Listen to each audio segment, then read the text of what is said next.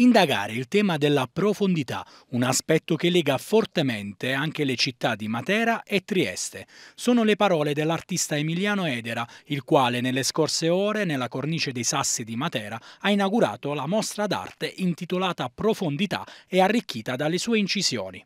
La mostra si inserisce all'interno del progetto culturale della Lega Navale Italiana sezione Matera Magna Grecia, dal titolo Matera e Acqua 2024.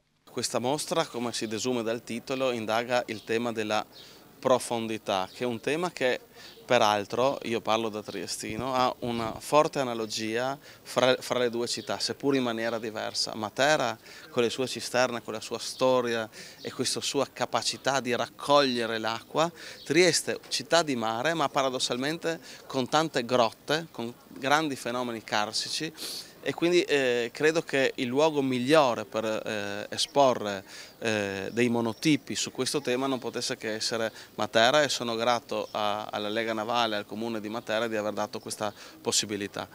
L'acqua qui è un'altra dimensione, eh, ha un altro aspetto eh, molto prezioso per la vita e ci ha consentito quest'opera eh, di sentirci un po' in un, in un porto sicuro L'obiettivo di ogni navigante è quello di raggiungere un porto sicuro. E quale porto più sicuro nella roccia? Questo contenitore culturale, quindi più di un contenitore d'acqua che abbiamo avviato, è un contenitore culturale dove stiamo portando avanti, avanti molti, molti progetti.